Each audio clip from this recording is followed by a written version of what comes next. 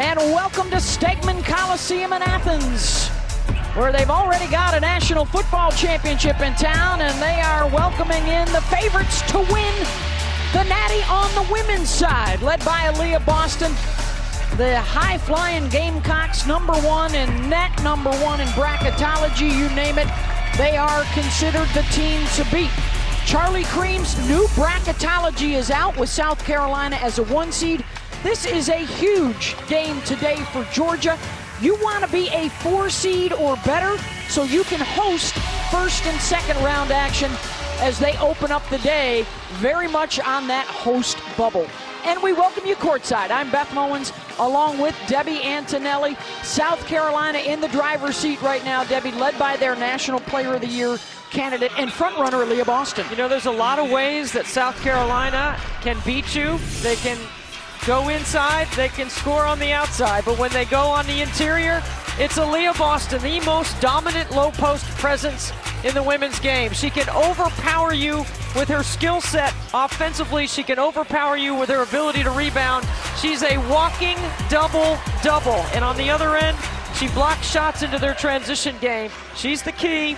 She's always the key, and her numbers are slightly up when they play better competition. She was the co-defensive player of the year in the SEC last season with her counterpart today on the perimeter, Que Morrison. Now, Que Morrison has to control the ground. She's got to facilitate. She's got to take care of the ball. She's got to defend and keep South Carolina out of transition. She's got to get the ball to the right shooters at the right time, and she has to be a scoring presence as well if Georgia's going to pull an upset here at home. Bulldogs have a win over second-ranked NC State already on the resume. Can they take down number one today? Or will it be the Gamecocks trying to keep their win streak going? They've won 10 straight. Their lone loss on the season to Missouri. Otherwise, how about five top 10 wins? And they are 9 0 on the season against ranked opponents. They face another one here this afternoon. Great way to tip off your Super Bowl Sunday. We got a women's hoops doubleheader. And Boston will control the tap, hand it right off to Destanni Henderson. Missed on the attempt, and that one into the expensive seats courtside here at Stegeman. I love that Dawn Staley scripts the jump ball and looks to be aggressive and attack on the first possession, right? Destanni Henderson going downhill is a nightmare for everyone.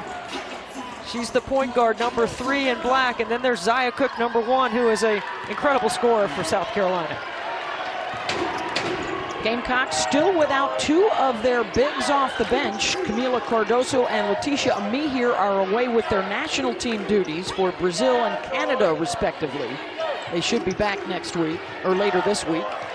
Over the top, and some paint points for Georgia. That's going to be huge today, Debbie. Well, South Carolina scored 46 of their 59 points in the paint against Kentucky in the last game. And watch Georgia, the way they'll defend. They'll try to deny De Destanni Henderson, but they'll sag in the paint and try to force Aliyah Boston to become a passer at this position on the floor. Boston, and fouled on the shot by Jenna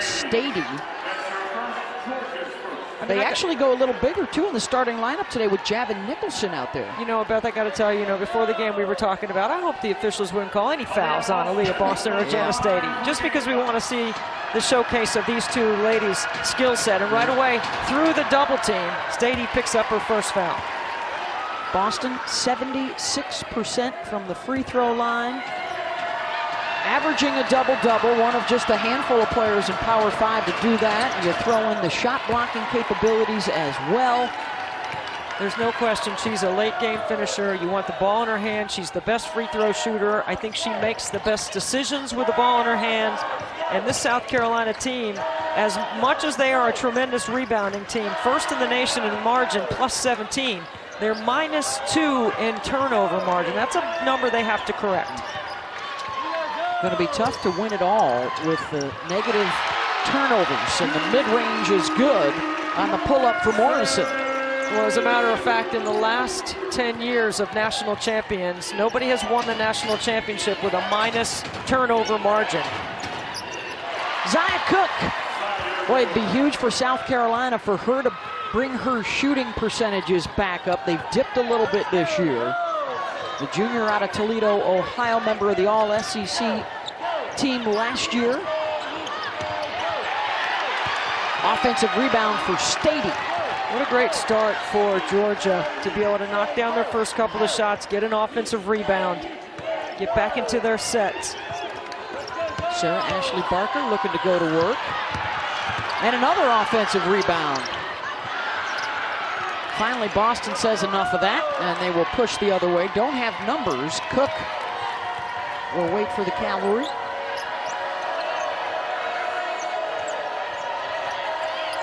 It's a softer cover man. It's an all-out deny on Henderson once she gives it up. And you've got to stay with South Carolina on the glass if you're going to have a chance in this one. Staiti was able to hold her ground that time against Aliyah. But it's smart to attack Staiti because she does have one foul. It changes the game plan for Joni Taylor if you can get Staiti in foul trouble. Dawn Staley now in her 14th season, winners of the 2017 National Championship. She will also take over the U.S. Olympic team. And they have just been the dominant force winners of five of the last eight regular season SEC titles and six of the last eight tournament titles, including a win over Georgia in last year's final. Cooke and Barker boards. You got to show layers defensively if you're Georgia. You got to stay underneath South Carolina's defense as Sarah Ashley Barker takes it to the hole. And one opportunity.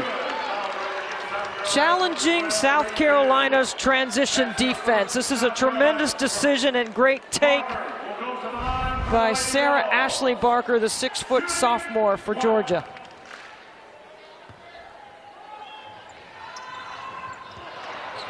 Staiti going to grab another offensive rebound. This will be a huge story if Georgia can out-rebound the Gamecocks.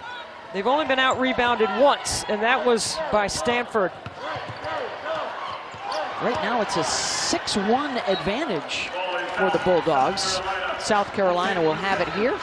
Joni Taylor, last year's SEC Coach of the Year, made it to the SEC tournament final and to the second round of the NCAA tournament. Former assistant for the legendary Andy Landers, who's in the studio for us today. Wearing her Delta colors. It's a special promotion going on here at Georgia tonight, or today. It's called the Divine Nine Game where they're inviting members and alumni of nine historically black fraternities and sororities to attend the game, and they'll be honored at each quarter.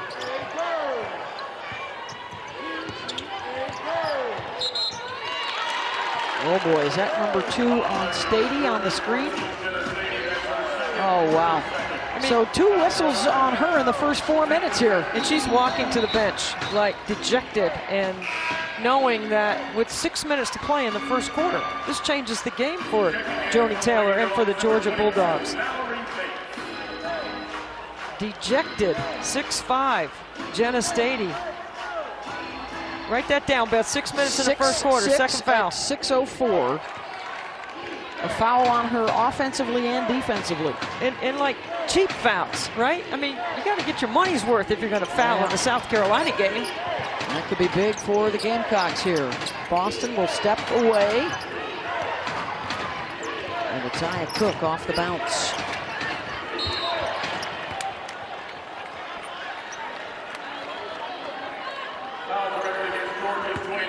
This is the third foul drawn already by Aliyah Boston. Two on Staiti, and now Another one on a Georgia big. Well, Georgia's going to have to adjust to the official's yep. whistle.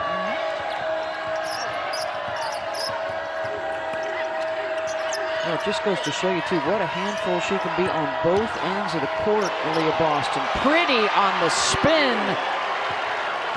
And the lay-in for Brea Beal. So aggressive off the bounce. Really nice spin move by Brea Beal.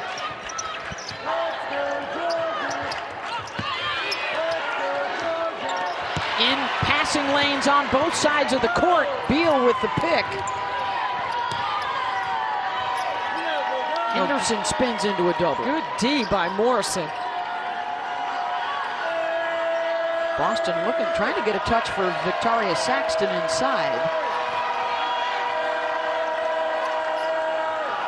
Victaria up to the elbow. And will chase down her own miss. South Carolina offensive rebounds, 48% of their misses. That is an incredibly high number. That's why they get so many points in the paint. And that's why their rebound margin is the best in all the land as Saxton is fouled on the shot. Brea Beal putting on the deck. Spins back. Finishes off the glass.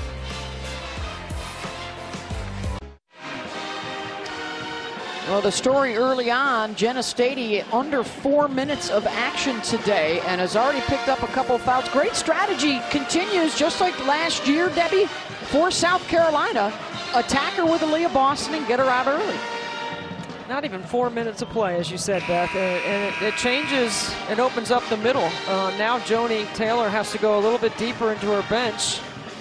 And you know, Staiti has only scored a combined 12 points in the last two games. Could be part of the reason why they've lost two in a row. Yeah. And Aliyah Boston already with four points. And a trip to the free throw line. Here's Victaria Saxton toeing the stripe. Victaria, the senior out of Rome, Georgia. Two times a captain of this squad. And this is where I think Dawn Staley and her staff do an excellent job of game planning for opponents, yep. right? Their strength is on the interior. Everyone's committed to getting the ball inside. And now off of free throws, a situational defensive possession here for South Carolina where they're trying to stretch the D a little bit and they're forced a turnover. Well, it's and, and it's playing through Aliyah Boston. It's going to be fun the next couple of days for women's basketball fans. And um, so we got Aliyah Boston today. The pounded in the paint, everything goes through her, National Player of the Year contender. We got Caitlin Clark tomorrow. The perimeter player always has the ball in her hands, has to score, has to distribute. She's playing tomorrow night against Maryland. And we'll get to see both sides of that. And, and so much of what Aliyah does, get her a touch. Either she scores, Debbie, or she creates opportunities for others. I think it's undervalued how she's added layers to her game yeah. every year and how she's been able to face up and step away. Her freshman year, she's on the block, pounding away. She's got a retooled body and she's got a reconfigured skill set facing up. And so that makes her even more dangerous because they can play her in the high-low game. She's a facilitator to reverse the ball, but she also can score from the top of the floor in the middle third. There are her metrics and the improvement that she's made, including down there at the bottom, dropping 8% body fat, adding more muscle. And she and Saxton today. So they draw two fouls on Jenna Staiti, who gets replaced by Malury Bates, and now Malury Bates has two fouls. Off the bounce into the lane, coast to coast, Mikayla Coombs. That's what Georgia has to do if South Carolina is going to open up the floor in their full court pressure. You got to look to attack going downhill. Watch Mikayla Coombs switch sides of the floor, gets ahead of the South Carolina defense, gets to the front of the rim, uncontested.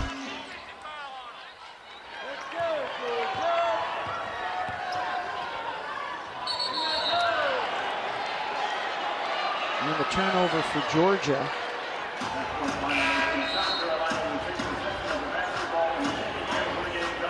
That's their fifth already. Just one turnover for South Carolina here in this first quarter. And the 11-8 Gamecocks lead. The more stoppage of play, the better for Georgia because they need to be organized defensively in their quarter court. They're very good when they're not playing in transition and they can defend inside out. But you have to know where Destanni Henderson is. She's their best three-point shooter by percentage. At 40% on the season for the senior from Fort Myers, Florida. Zia Cooke also has made the most, but Destanni has the best percentage.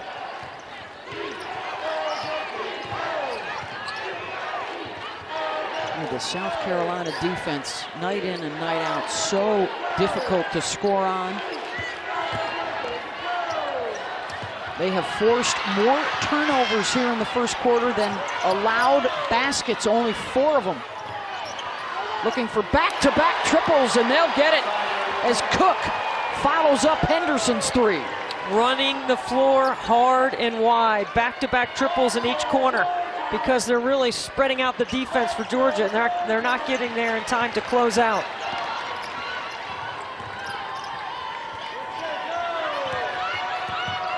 Bree Hall thought about trying another one. LeLe Grissett looking to Boston, who steps away.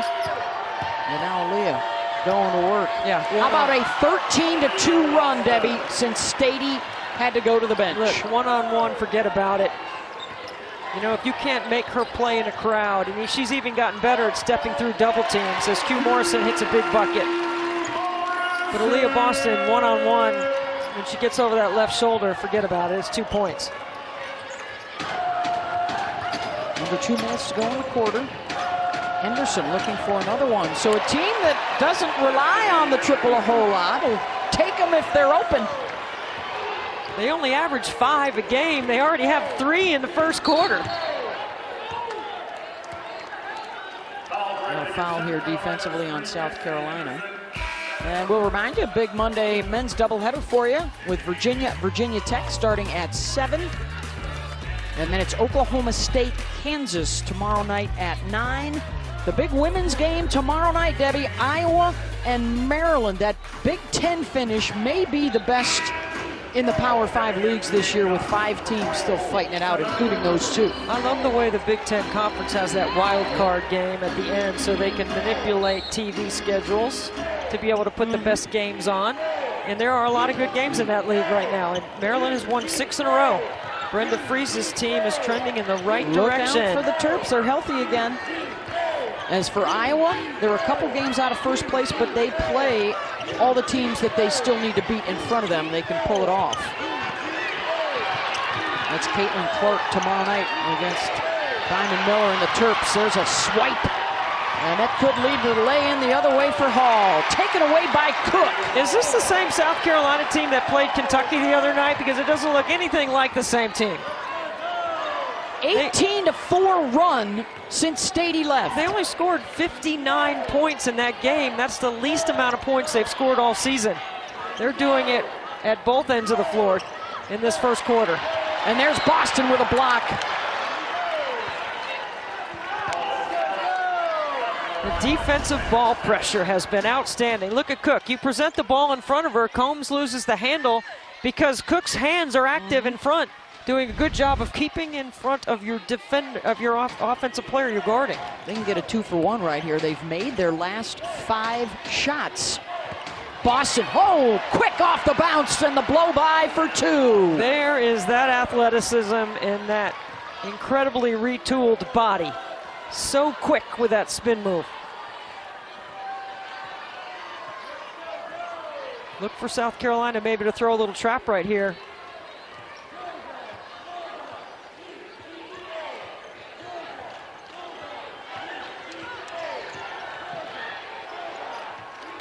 Oh, really And good gap turnover. coverage in the middle third, but a, a poor pass. That's what happens if South Carolina speeds you up, right? You got to mm-hmm. make a decision quickly. Five seconds to get a shot off. Cooke will launch from deep and hit. A game that was tied at six. And then the 23 to 4 outburst. Four for four outside the three point line. Logo distance for Zia Cooke.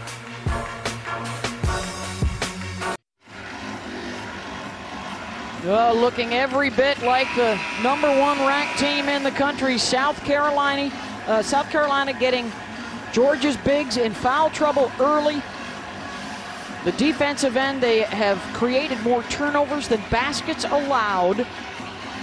And a 23 to 4 run after the second foul on Jenna Staiti. Well, I mean, 62% from the floor is outstanding. South Carolina has only missed six shots, and they've offensive rebounded three of them. which is right on par with their 48%, a little bit better. And their offensive rebounding, they've got some tip steals, that have been disruptive. They scored 59 in the last game. They're on pace for 120. Oof. And if you're Joni Taylor, you say to your team, we were down 20 at LSU and we came back and made it a game. And when do you put Staiti back? I was going to say, I mean, like how much do you, how much separation do you allow before the game yeah. gets to it a point where it's too challenging to come back? It won't matter in the third quarter, right? If they're down even more than they are now. That'll be a decision coming up. Reigan Richardson coming off a career high 17 points in 17 minutes against LSU.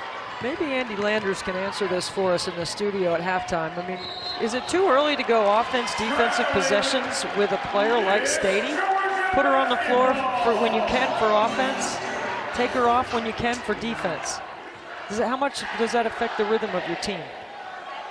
But you don't have a rhythm well, right and, now. And so if you don't have a whole lot of stoppages, it's hard to get her in and out of the game.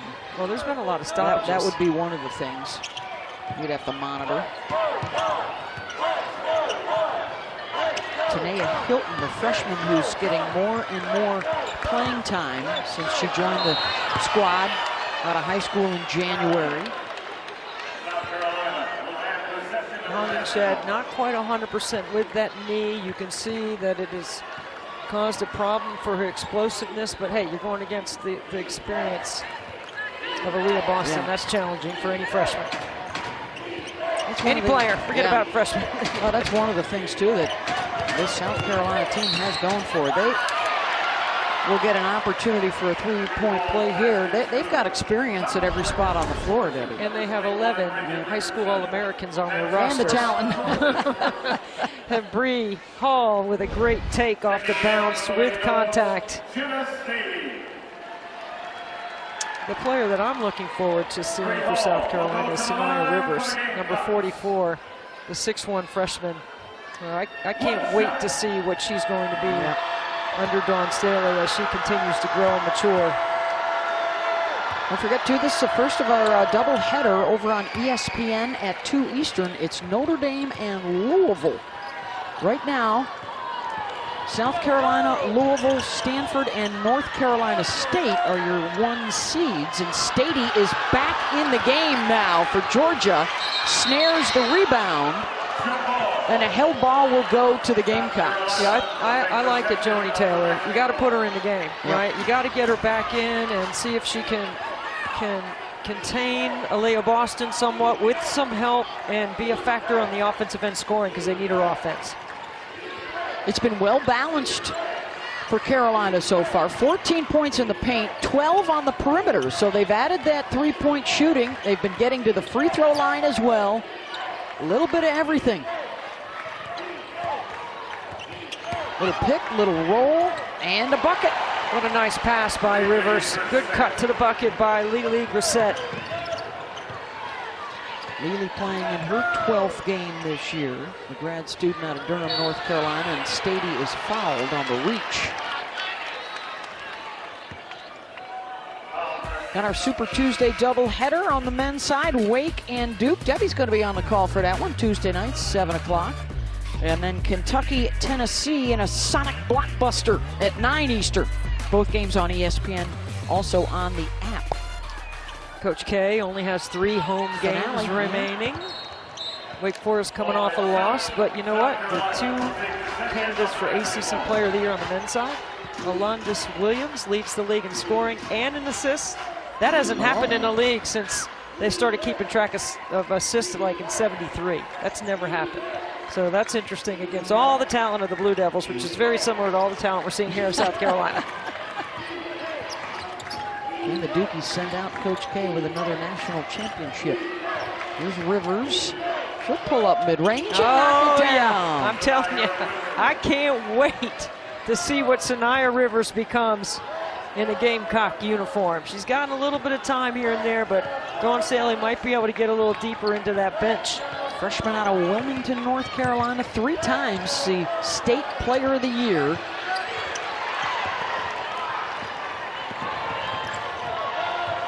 Here she is in the trail position. And spins into a double team. Good help defense right there by Jordan Isaacs.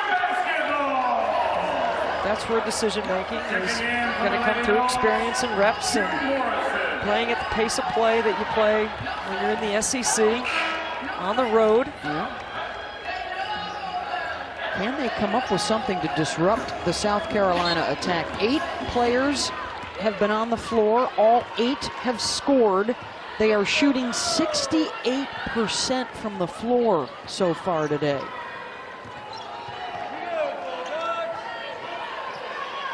I think South Carolina decided they wanted to play.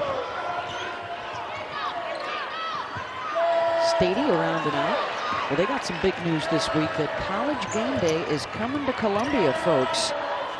February 20th for that Tennessee game. And an offensive foul going to be called here on Bree Hall. That's her second. That's her second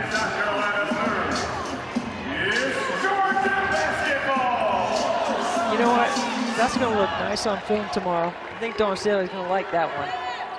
That's a pretty good take off the bounce. She did create some contact. The official, in his judgment, thought that she initiated the contact. That's why the foul was called. I hate to see points come off the board. Anybody's points come off the board.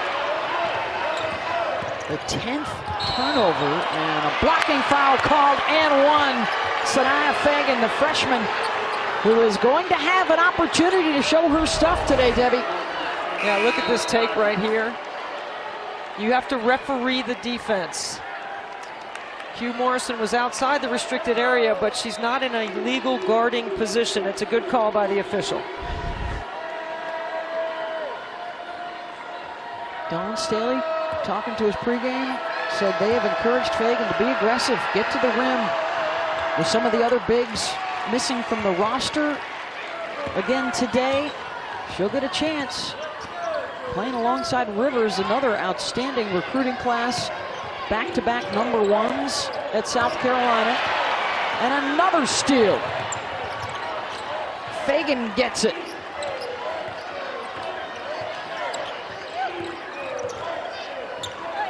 Henderson drops it. My goodness. All Carolina here in the first half. fire. Now they're shooting 71%. Their percentage continues to go up.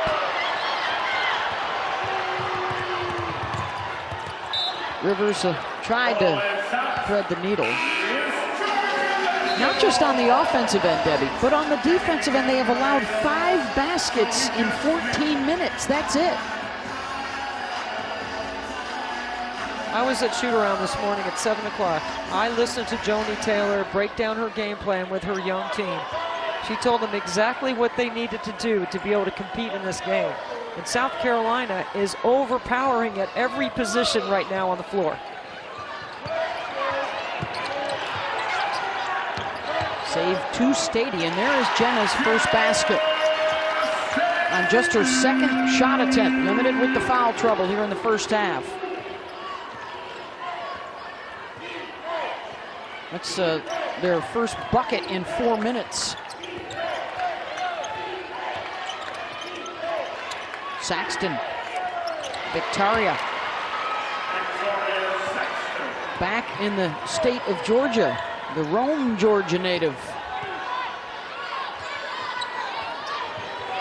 Her high school team's in the house today cheering her on.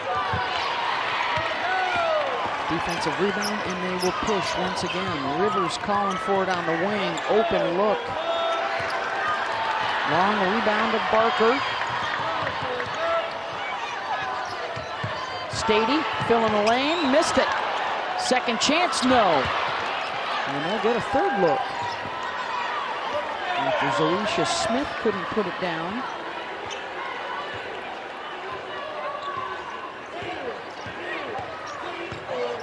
South Carolina switching that middle pick and roll. Mouse in the house inside. Good recognition by Morrison. And a foul on the shot just as the buzzer was expiring. Back to Athens in a moment.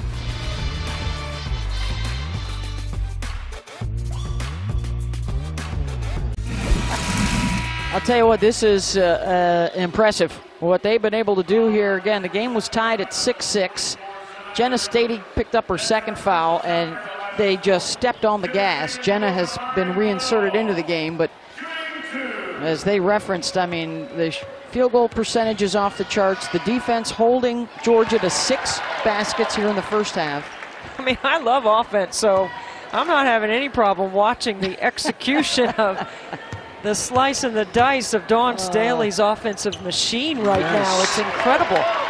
I mean, uh, I'm sure Rebecca is hoping it's going to be like this on game day when they show up down Oh, there. Oh, it's going to be nuts down right? there. Oh, my For the goodness. Tennessee game, the game, by the way, is now on ABC. I just want to uh, take part in a little tailgating pregame. Is anybody going to? Are they going to bring a caboose over to? Uh, I don't know. To the Listen, parking lot? That parking lot is lit, right? The Oh. South Carolina fans tailgating we've had there. a good time out there. We've Some had good- a burger out there food. pregame before. post-game beverage. Well, it's better than sitting in traffic It's because gonna- you definitely oh. got post-game traffic at South Carolina. That is going to be terrific, and that will be against Tennessee, the team that sits just one game behind them right now in the SEC standings. And I, mean, you got to understand, Dawn Staley, We talked to her about the grind of this point in February, Yeah. right? And Mm. so they still are evolving and emerging with their depth. I mean, we know that their first 5 can win, okay? But they're going to need other pieces, and that's why you're seeing Dawn continue to keep the pressure on and continue to keep her players on the floor because they're still working for a bigger vision in mind. Nice three there from Barker. Well, the SEC, I mean, heady, heady times are, uh, are coming back with what Dawn has done at the top of the league. Um, you know, Harper, Kellie Harper's got it going at Tennessee. Joni's got it going here. Of course, you got the return of Kim Mulkey at LSU. Right now, they are moving up the charts. Got some big coaching jobs to fill as well, with uh, Gary Blair's retirement at Texas A&M. Florida's going to have to make a choice. Look, Kelly Rae Finley has won eight of Been their last nine games. Yeah. Okay. Scott Stricklin might not have a tough decision No, on that. may be able He's to- the athletic director at Florida. Stay in house. Question, question, question is how much money in the bank for Texas A&M to offer up for whatever lot of money. coaches Back up the truck. Ross Bjork is going to hire a big-time name for Oh, that yeah. job. Yeah. Hey, we, we heard from Andy Landers in the studio, and congratulations to Andy. Uh, he is uh, the newest member of the Circle of Honor here at Georgia. Andy with us. Most importantly, don't forget Pam. Don't miss out on Pam in that photo. She's always been in the Circle of Trust. Andy's wife, of course, was- that's a wonderful shot of Andy and Joni. Joni served on his staff for many years. Yeah. And then Hugh Durham. How about Coach Durham? His name's all over Georgia athletics. Coach Landers uh, in the Women's Basketball Hall of Fame with five trips to the Final Four. And of course, that is the ultimate destination that Joni Taylor and company are trying to work towards. Is this the group that can do it? On that banner, that's uh, that's Andy Landers. Got his stamp all over that. So does Janet Harris and Teresa Edwards and Katrina McClain. Oh, yeah. Saudia Roundtree. Don't the- forget the Miller Susie Gardner. Susie Gardner, my Yeah. favorite Georgia shooter of all time. All right, the dogs are barking a little bit here, Debbie. An 8-0 run over the last minute. And if Lisa O'Connor saw me in the street and I didn't mention her name, she might take me out.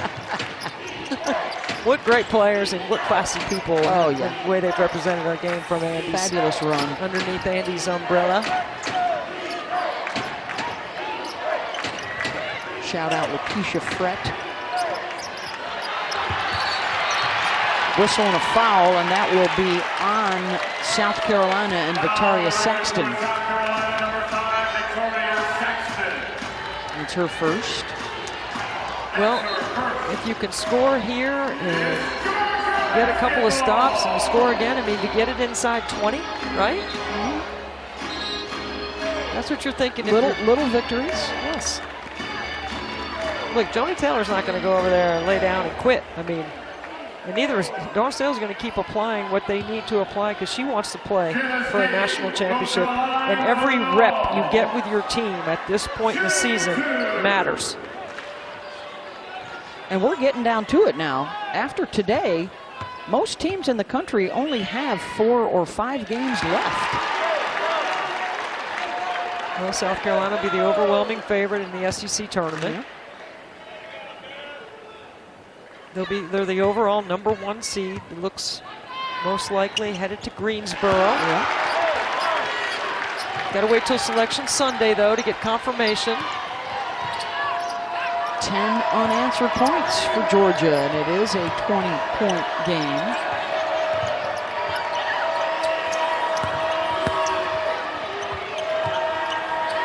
Boston, who's back in the game. The spin to the middle and a foul, and who's it going to be on?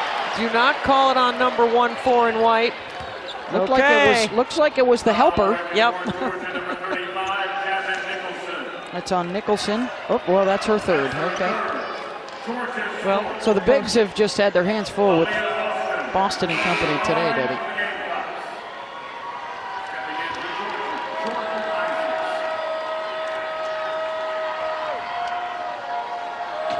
Aliyah Boston is so much quicker with her post moves inside and such great footwork on the interior. Hey, how about a Wednesday night doubleheader from the NBA? And we'll start things off uh, in the Big Apple. It's Nets and Knicks at 7:30 Eastern, and then Utah and the Los Angeles Lakers. ESPN's coverage will start with NBA Countdown at 7 Eastern. By the way, you and Doris Burke and the rest of the crew, And Lisa, Lisa yeah, her done whole an gang. outstanding job last Wednesday night. That was a lot of fun. It was really all, great. All female crew. You know what? Saw I- the Jazz beat the Warriors. I listened. It was just a regular game. It Wait, was you awesome. Listened, you listened to one of my games? I, well, I was listening to Doris. First, oh, I was dang actually I listening knew to. Doris. I knew it. Well, those two have set the standard for a long time now in the NBA. Great to be a part of that. 35 women in front of and behind the cameras for that. South That Carolina will take possession of the basketball. Don't forget, too, tomorrow night we're going to find out who goes into the Women's Basketball Hall of Fame, right, Debbie? Yes.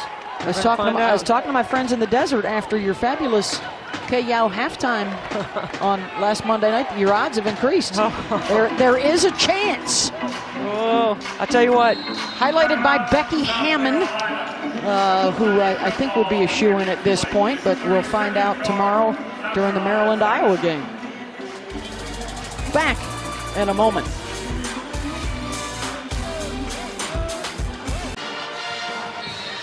Charlie Creme, uh, you make sure you follow Charlie at ESPN.com. He pretty much puts out a new bracket uh, daily now, but there are your number one seeds and your number two seeds. Interestingly enough, both Michigan and Arizona lost. Since that went out, NC State was pushed to overtime this week. Um, I I think a lot, for a lot of folks, South Carolina and Stanford have moved a little bit ahead of the pack. We know NC State and Louisville will not play again in the regular season. They could in the ACC Yeah. tournament. I think the ones are solid. I don't see any change there. Uh, the twos could move. And certainly the host bubble line continues to evolve every day. Rolled up and in by Destanni Henderson. Shout out to Bill Fennelly and the folks at Iowa State, by the way. They are still with a shot at, at the Big 12 regular season championship, which Kim Mulkey and Baylor have dominated for so long. 11 straight or 12 straight. Chance for a last second bucket, and that one will not go. Working on a 100 point game right now. South Carolina up on Georgia. John and Rebecca and Circle of Honoree, Andy Landers back in the studio.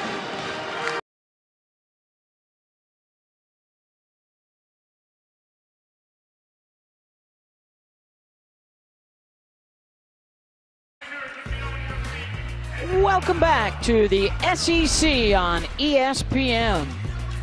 Top ranked South Carolina, a dominant 20 minutes. They led by as many as 30 and they scored 51 on a Georgia defense, which doesn't give up a whole lot more than that for a full 40 minutes. Beth Mowins courtside with Debbie Antonelli, and everybody got involved. Everybody that got in the game scored, and they were doing it on both ends. Well, I'm impressed with South Carolina's balance. They've been a team that's dominated points in the paint. They got 22 points of their 51 inside, which means they shot the three better, they moved the ball better.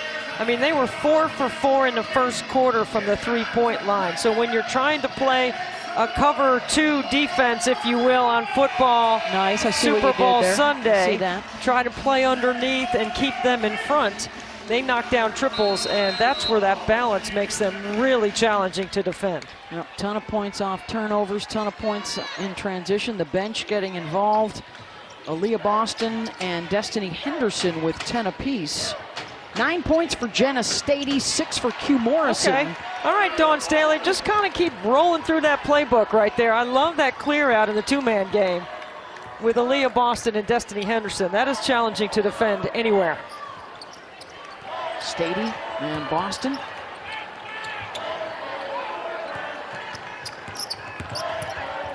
Barker gets into the lane, spins and gets the bounce. So if you're Joni Taylor, you're looking at this like, can we cut this deficit in half by the start of the fourth quarter? And if you're South Carolina, you do not take the foot off the gas, right? You're, you're still grinding towards that, I don't want to say perfect game, but trying to continue to get better. Beal around and out. It'd be big for Georgia to just win the second half. And you mentioned it in the, uh, earlier today. They they almost overcame a 20-point deficit against LSU. And come back to win. Fell a bit short. The Tigers have gotten them twice this year. And the foul is going to be on Saxton. That will be her second. The high-low game has been somewhat successful for Georgia in the first half. They were able to complete a couple of those plays, and they had a few others open that they didn't complete with the pass. They need somebody to get hot. Like Sarah Ashley Barker is due to get hot. Beal going to take it coast to coast. to rolls around and down.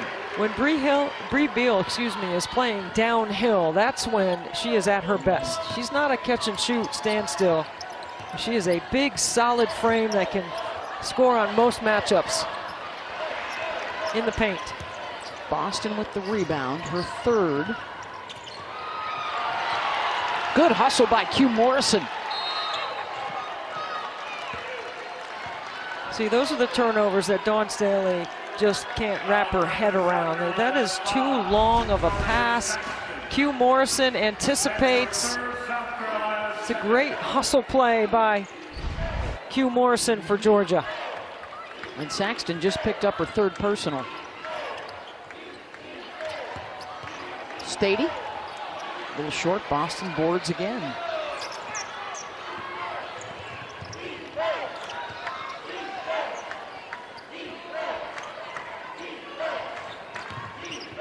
Clearing out a side again for Boston.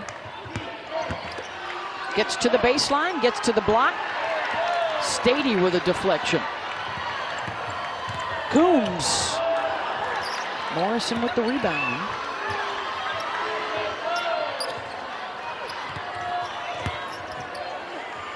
And they're able to work it down to the low block and a bucket for Nicholson. Look, if you know anything about Joni Taylor and the culture that she has continued to evolve here after Andy, it's been about hard work and discipline. And I, I thought she had an incredible game focus early on this morning. So did her team.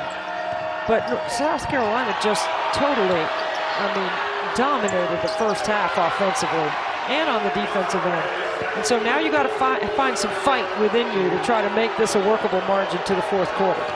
I know they're not going to quit. Saxton able to get the basket inside.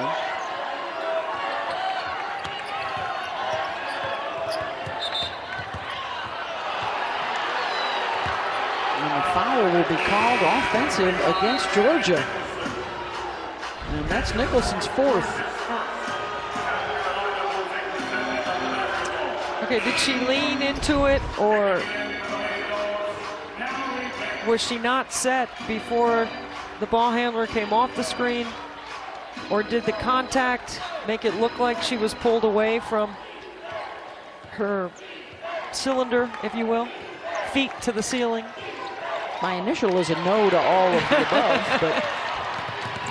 Oh, Oh, Q, Morrison come on, Q. That's what we're here for. Top 10 moment for Que Morrison. When Que Morrison came to Georgia, she was a shy little freshman. She has matured into an incredible young woman, but also a great competitor for Joni Taylor. That is beautiful. Those are the kind of moves that put her on the Dawn Staley Award watch list for top point guard in the country. Coach Staley making a mental note over there. All right, I'll get that to the committee.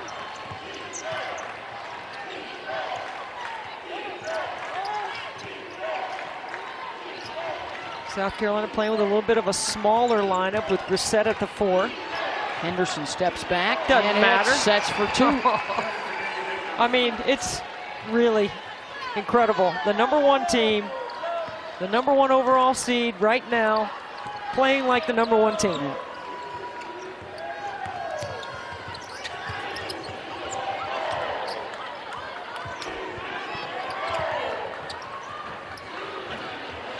That one won't get down. Offensive rebound. Tipped. Boston has it. And numbers now for South Carolina with the three on one. Cooke will step out beyond the arc as opposed to attacking the rim.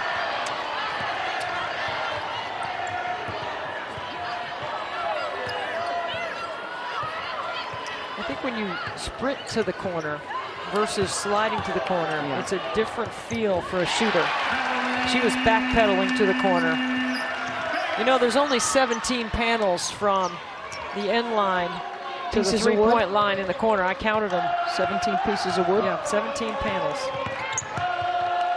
What's the shoe size on that? Uh, is that I like a men's 15 or something? That, No, there's not a no, whole lot of room, is there? No, there's not a lot of room, but you, you, I've sized up a size 22 over there in the corner before. On the women's side, I don't know. I size 12 would be a big foot. Do you see a lot of people stepping out of I- bounds over there? Is that the yeah? That's why I count it. Yeah, yeah. Because I'm, I'm interested. I, I'm gonna, I'm gonna do something with that next time we're we're together.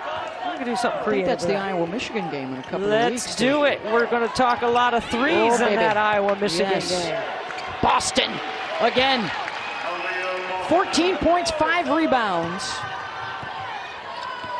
You know, Michigan won the first meeting, but Caitlin Yes. Clark only had 46 in that one. How about a 27 point, 26 point fourth quarter? Staiti, nice little turn. Caitlin Clark, you know, we were talking earlier about Wake Forest on the men's side. Alondes Williams leading the ACC in scoring and assists. You know, Caitlin Clark leads the nation in those categories on the women's side. Hey, we'll see Clark tomorrow night and today enjoying Aliyah Boston. I mean, Boston, so quick with a spin. Boom. Big finish inside.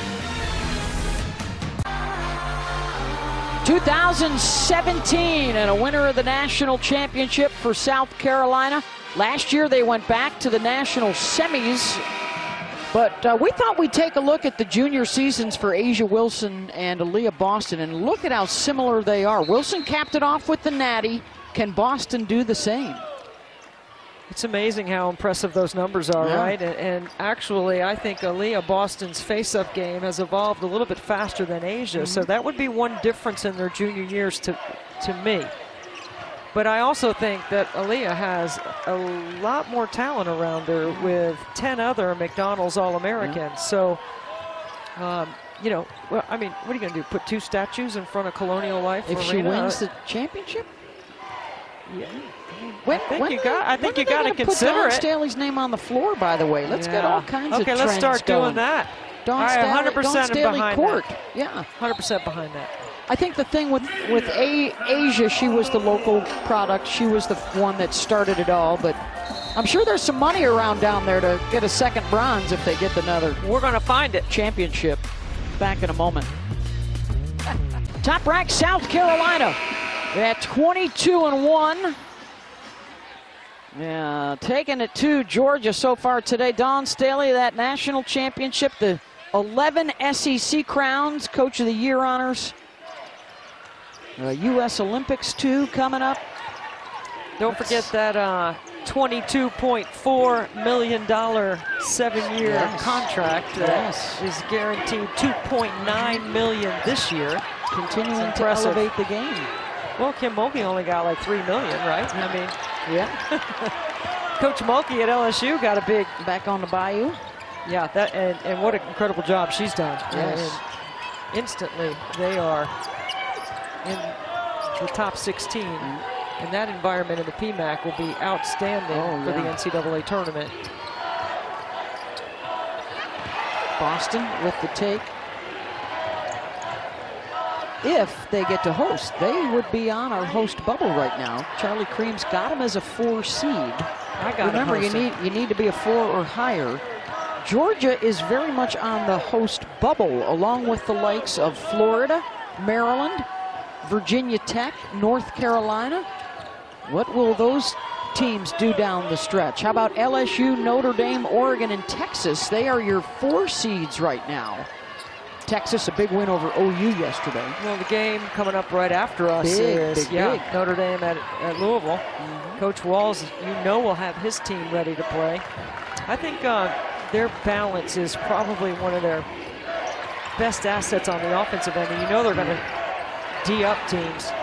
You know, at the beginning of the year, I was saying Dana who in reference to Dana Evans, who is a back-to-back ACC Player of the Year for Jeff Walz, and it's because it's a program. It's not a one-year team. It's not a per. Yeah, it's not just It's the not one. just show up. They're going to as be good a number as she one was. seed. yeah. I think he's had the ACC Player of the Year four of the last five years, Yeah. And was it five of six? five or six maybe.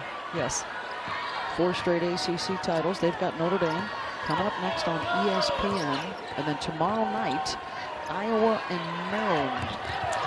A really interesting matchup in the Louisville Notre Dame game that I think probably wasn't something we looked at at the beginning of the season is Maya Dodson for Notre Dame and Olivia Cochran for Louisville. Both of those players would be on my most improved post players in the country list. Both have done a magnificent job inside their own systems, being a factor.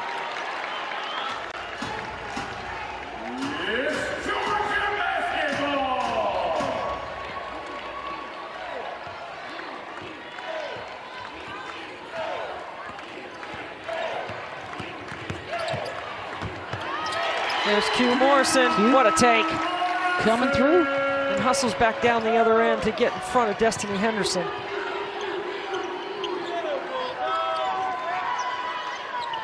All right, now here's the some of the late game slippage you're trying to fight against if you're South Carolina. They've missed seven of their last eight shots. And Georgia's still playing hard.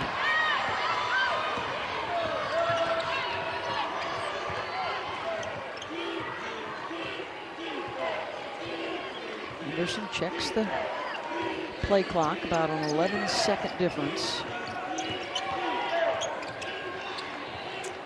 I mean, South Carolina had 51 points at the half. And only have 10 here in this third quarter, so Georgia has done a better job defensively. outscoring them here in the third.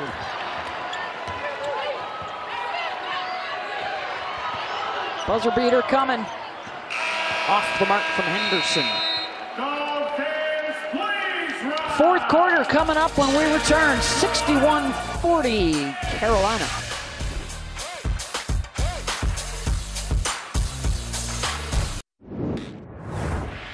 Specifically for me, I would say Thurgood Marshall, um, the first African American Supreme Court Justice, uh, Jackie Robinson, um, the first African American to play in the major leagues, um, and Harriet Tubman. She led an entire group of people um, to beat that oppression and to, you know, help change millions of lives. Hey, for more storytelling, stream the Black History Always collection on ESPN Plus. Beth Mowins, Debbie Antonelli with you courtside. John Brickley, Rebecca Lobo, Andy Landers back in the studio. The first game of our doubleheader. It continues over on ESPN with Louisville and Notre Dame. So a good look at two teams right now that are number one seeds according to the NCAA selection committee after its second reveal. One more reveal to come before the postseason begins. You like the reveals? You like I, I think it, they're good conversation starters, absolutely. I especially like that now we're putting them into their regions as well, so you can track where teams are going. May help the fans be able to, hey, maybe we'll pick up some tickets for that if we think we're going there. maybe. Remember, geography is still uh, plays a role in the women's game. Not where you're seated, but where you might be sent to play. Good duck in. Basket is good. Zoesha Smith. The other uh, new development this year in the postseason, the um, women are adding the first four, so there will be double headers that first Wednesday and Thursday night now, the women's tournament. And I believe at least two of those games will be at one seed, so it's possible that, say, a South Carolina, they may not know who their opponent is until that first four game is played. And that would be played in Columbia. You know, I'm always looking at how and why things happen inside our game. I would really love to consider a, a shuffle at the bottom of the format so Yeah. that, you know, those teams that are 16s and 15s actually have a chance to have a postseason experience of winning. We Yeah. know they're going to have a great experience being in the tournament, but you know, only one time in the history of our game is a 16 beat a one, and that was extenuating circumstances a long time ago. That was Allison Feaster, the leading scorer in the country at Harvard, against a Depleted. depleted Tara Vanderveer. Stanford team. Uh, actually, that experience still has altered the way Tara Vanderveer prepares for the NCAA tournament because she's fearful of injuries. Nobody likes to talk about that, but I would love to see, you know, a, a reshuffle at the bottom. Since we got 68, give those teams a chance to play their way in. Maybe take the bottom eight teams and have a little play-in game to play the ones Yep. and the twos. No harm, no foul on that if you're going to go ahead and play some games earlier than the traditional 64. I'd love to see them played on home floors too, so you get the NCAA Yes. tournament experience with your own fans in the gym. I mean, we have enough trouble selling out four regionals. We're going to create another situation where we're going to have NCAA games played in the first four, if you will, on a It's all good conversation to have because it's all for the betterment of the game and constantly improving and talking about different ways to do things. We just don't have enough formats mm-hmm. or platforms to have conversation about these things.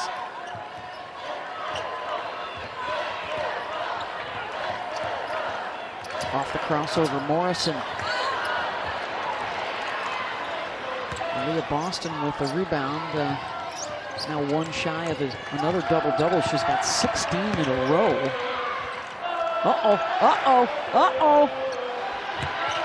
Wow, look at Saxton on the glass. I love that add whole set. three repertoire. Well, you know, you, you switch sides of the floor, you reverse the ball, you attack baseline, you throw it back up to the top. The defense is already sucked down to the level of the ball.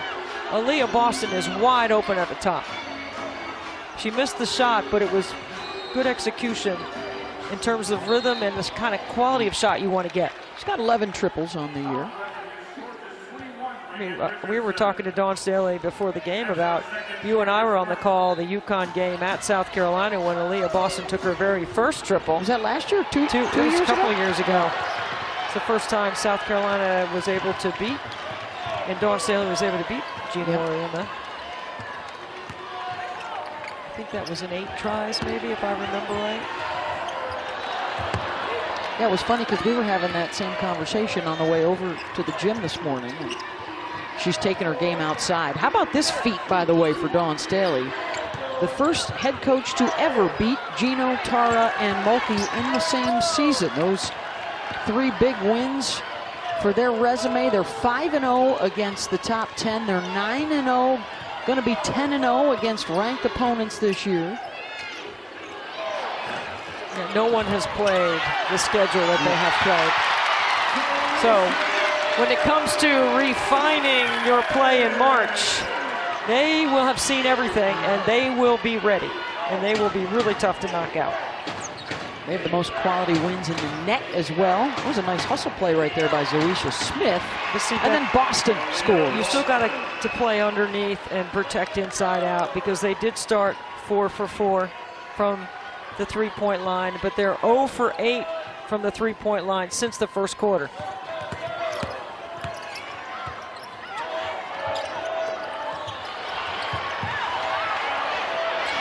Oh, a Freddie Brown pass to Destanni Henderson and one. Just a little bit of confusion. Nice reference of Freddie Brown, Georgetown, To James Worthy. James Worthy, North Carolina for the national championship game. Google that one, kids. Stepping in for the game box, number 12. There's no foul there, was there? Did she hit her after? I don't know. Must have clipped her. I thought she was trying to avoid it. Good numbers for Destanni on six of eight shooting from the floor today. I mean, if you, Debbie, if you have, you, we've talked about it, if you have the perimeter players knocking down their shots, uh, you know, with Boston doing what she does inside, that's that's ball game. Well, and, and then there's Saxton, right? Yeah. And then you can put LeLe Grissett in there, and you're missing two, Cardoso and Yeah. Here, who are with their national teams trying to qualify through FIBA for the World Championships, right? So, I mean, it just it's a it's a you look down the bench and you got to earn playing time Yeah. in practice. We know that Dawn Staley is going to want her team to earn playing time in practice. That's how you get on the floor. Well, Georgia fans hoping all is okay here with Jenna Staiti.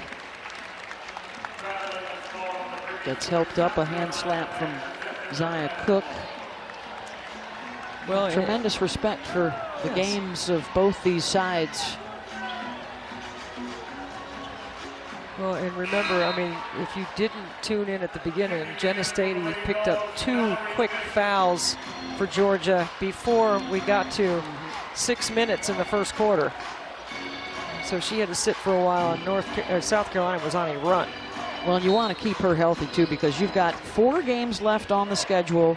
Missouri at Auburn at Arkansas, and then Texas A&M at home, where you you may have to sweep that to be right there in position to get a four seed or higher.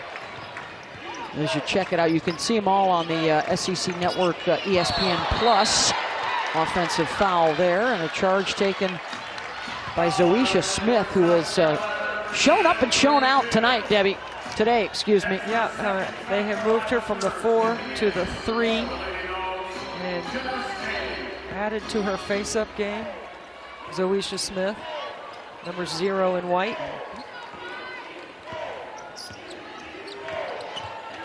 Aliyah Boston has also checked out of the lineup. 16 points, nine rebounds. Oops, Staiti's right back in there and scoring. Doesn't look like she feels too good on that ankle, though. You know, you mentioned Missouri coming in here next for Georgia. You know, Robin Pingeton is the only coach with a win over Dawn Staley this year. South Carolina losing on the road at Missouri. Now, you know the game plan is 10 feet in the paint when Robin Pingeton's team Yes. is playing South Carolina. Yes.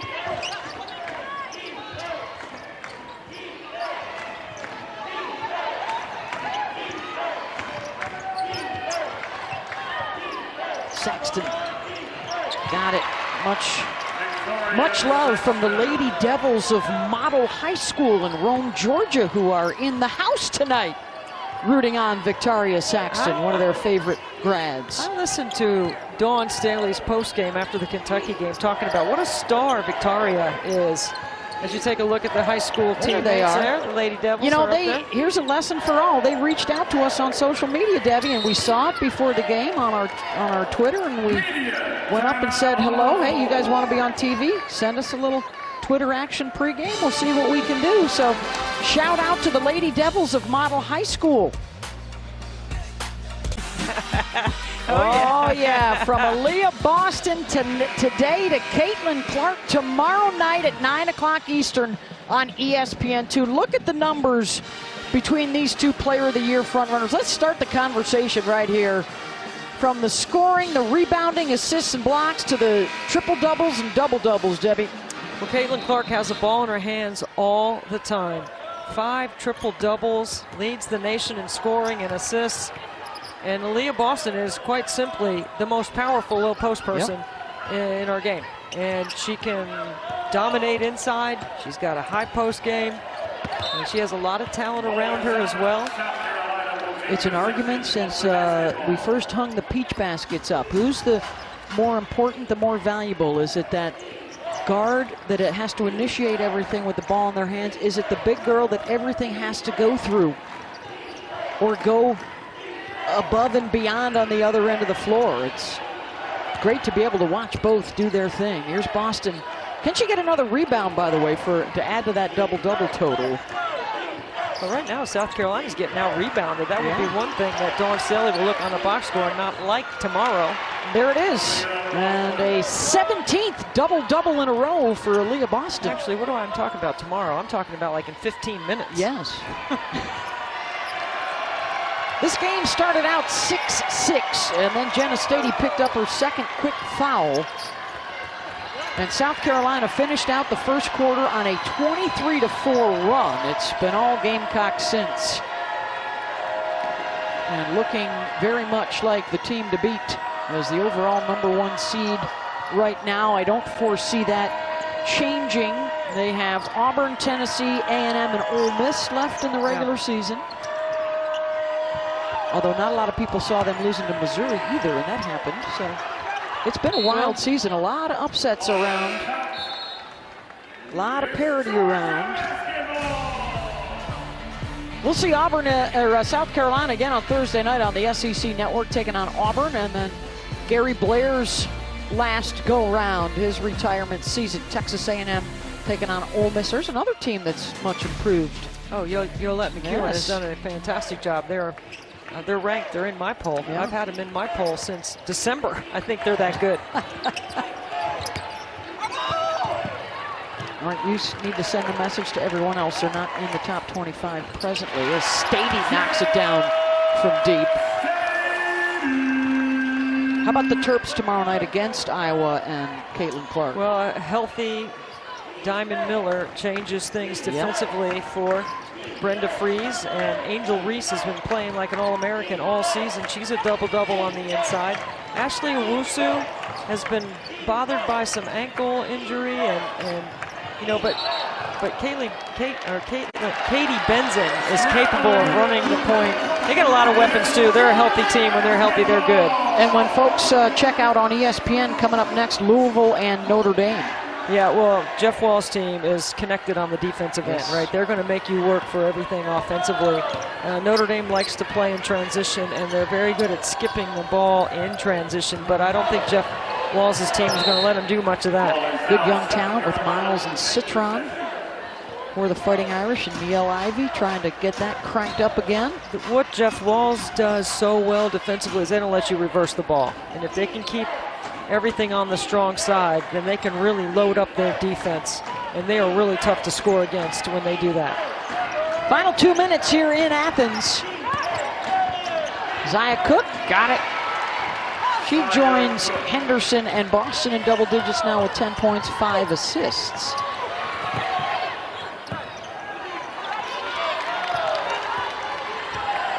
Much better second half effort by Georgia. Joni Taylor you know, got some pieces of film that they can look at. And, I mean, you're measuring yourself up against the best this season, yeah. and you're going against South Carolina. Well, you try and find any little thing, right? And we touched on it at the half. Right now, they are beating South Carolina on the scoreboard in the second half. Uh, but it's only a, a four-point separation, so something to watch here in the last minute and a half for those interested. Zoesha Smith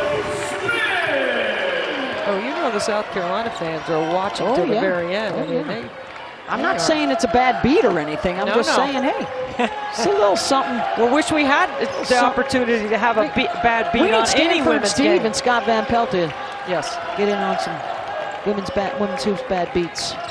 One minute remaining. Final minute.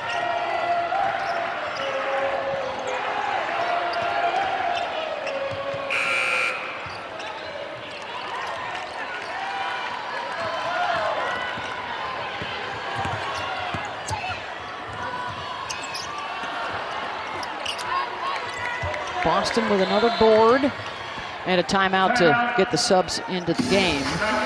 As Aliyah will finish the day 18 points and 12 rebounds. Another terrific for uh, showing for her.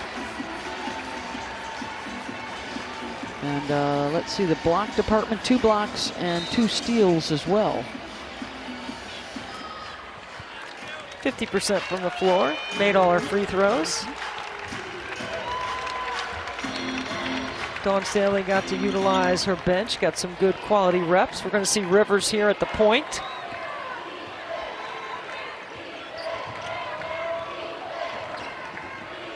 That's a big point guard. like Teresa Edwards in the house, right? That was one of the original big point guards Yes. in women's basketball. Five-time Olympian. Oh, nice pick. Good job on that one from Hylton. Good anticipation. That's the word I was looking for.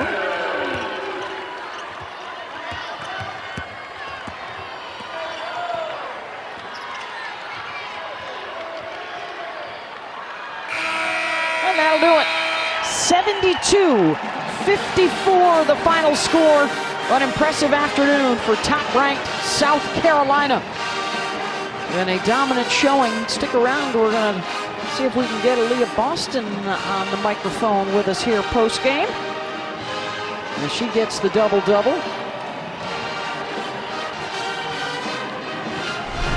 Leah Boston, a dominant performance on the glass once again. Does a great job on a 50-50 ball, getting position inside, uses her footwork to spin over that left shoulder, off the bounce. Dawn Staley can put her in space, and she can make a play. And Destanni Henderson and Saniya Rivers doing a great job of helping from the perimeter.